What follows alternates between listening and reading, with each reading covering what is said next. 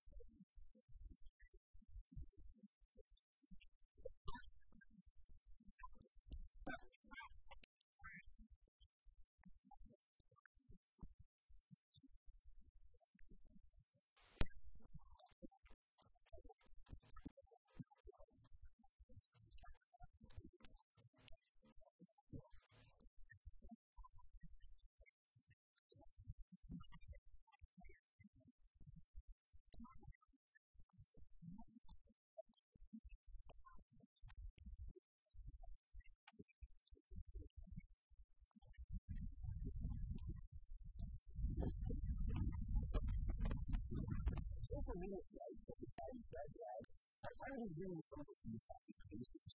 And now she's looking to reach out even further by putting that stolen information into the hands of producers usable and smartphones.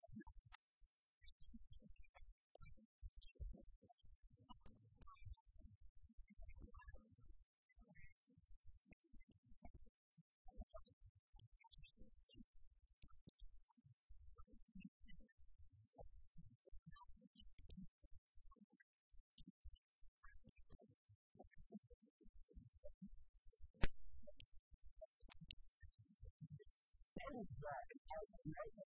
And further excited until it leads to agriculture's food and food sales, only relates to the fact that making close to the record. So the producers can use and choose the kind of information that we need to garbage these things. So the University of Guelph, Rangers have a great perspective.